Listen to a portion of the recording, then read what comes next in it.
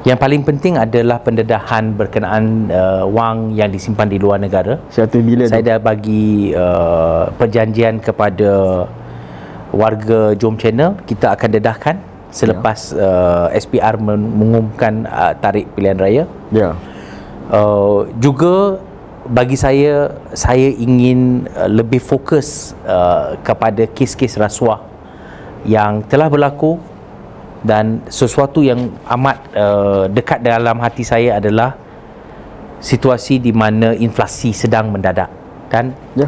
bagi pengetahuan uh, penonton uh, harga gula bakal naik lepas pilihan raya. Harga tepung bakal naik lepas pilihan raya.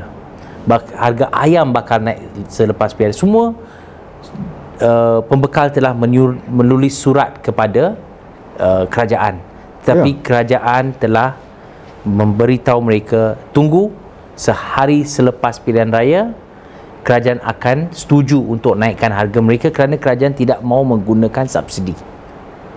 Ya. Okey.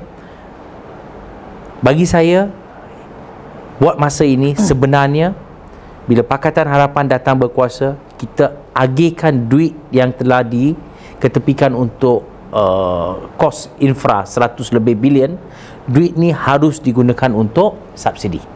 Ya. subsidi pada masa ini sangat penting. Kalau kerajaan BN menang 100% saya jamin harga-harga akan naik lagi 20% Ya. harga-harga barang asas. Jadi saya akan bincang perkara ni saya ada senarai dia bagaimana harga akan naik bagaimana kebanyakan uh, pengeluar pe, kebanyakan pengimport barang-barang daripada luar negeri telah menampilkan harga baru kepada kerajaan. Tapi kerajaan dah kerajaan BN dah bagi tahu tunggu sehari selepas pilihan raya kita akan naikkan harga. Ya. bukan sekarang.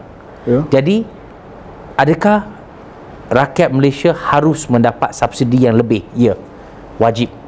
Subsidi yang lebih sangat diperlukan pada masa ini. US dollar sudah sampai 4.75 semalam Ya. bila Ismail Sabri menjadi Perdana Menteri US dollar 4.2 bermakna US dollar sudah naik hampir 15%. Ya.